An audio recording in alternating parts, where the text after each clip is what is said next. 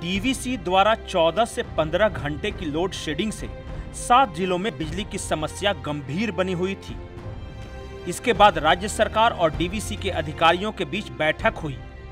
इसमें यह तय किया गया कि सरकार डीवीसी का जो भी बकाया है, उसे देने पर विचार करेगी।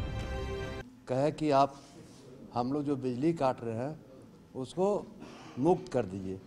तो वो भी एग्री कर गए हैं कि हम बिजली मुक्त कर देंगे।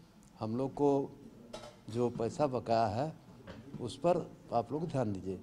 हमने कहा कि हम लोग का मंगलवार का कैबिनेट का बैठक है। माननीय मुख्यमंत्री जी से अवगत करा के और कैबिनेट निर्णय लेंगे।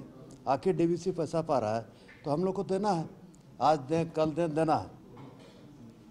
इसलिए ये बिजली देने के लिए तैयार हो गए जो सात जिला कमान क्षेत्र था और हम लोग जो आज पैसे की बात, जहाँ हिसाब जो दोनों के बीच में जो मामला उलझा हुआ था, हिसाब किताब नहीं हो रहा है बहुत दिनों से तो उसका हिसाब किताब हो जाएगा।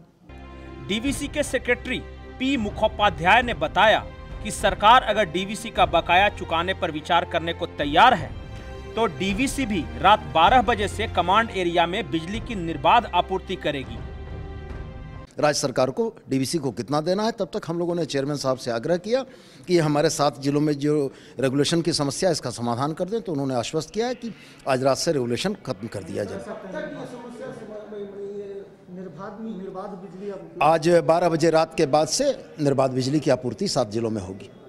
राज्य के कई जिलों में डीवीसी द्वारा कमांड एरिया में की जा रही बिजली कटौती को लेकर शिक्षा मंत्री ने सीएम हेमंत सोरेन से बात की थी। सीएम के निर्देश के बाद शिक्षा मंत्री जगन्नाथ महतो की अध्यक्षता में ये बैठक आयोजित की गई। रांची से समाचार प्लस के लिए मोइजुद्दीन की रिपोर्ट।